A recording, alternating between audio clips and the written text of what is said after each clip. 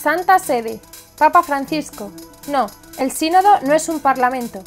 Al recibir a los obispos del sínodo de la Iglesia Greco-Católica Ucraniana, el Papa Francisco ha dado su visión sobre lo que son los sínodos. El pontífice ha improvisado un discurso entre los prelados de Ucrania de rito bizantino. Si no está el Espíritu Santo, no hay sínodo. Si el Espíritu Santo no está presente, no hay sinodalidad. Es más, si no hay iglesia, la identidad de la iglesia no hay sínodo. ¿Y cuál es la identidad de la iglesia? San Pablo VI lo decía claramente. La vocación de la iglesia es evangelizar.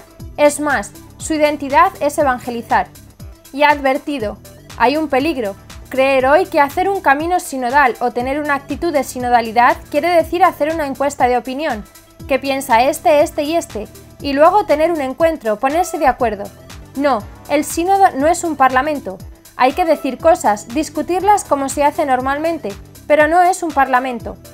Por último ha dicho a los obispos ucranianos, oren al Espíritu, discutan entre ustedes lo que quieran, piensen en Éfeso, cómo pelearon, pero eran buenos, y al final fue el Espíritu quien los llevó a decir, María, Madre de Dios.